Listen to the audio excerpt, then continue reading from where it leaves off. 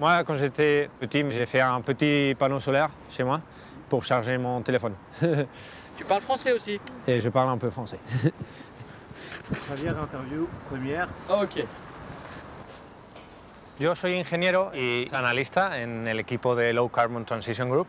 Es equipo que se especializa en la transición energética. Hay expertos que están especializados en tecnologías en específicas como hidrógeno, baterías, carbon capture.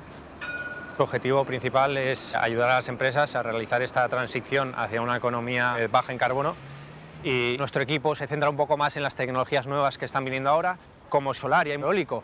Se van a necesitar muchos expertos, muchos ingenieros y ahora, aunque suene un poco innovador mi puesto, yo creo que de aquí a unos años eh, va a ser algo normal, porque ciencia energética que es el futuro y es muy importante.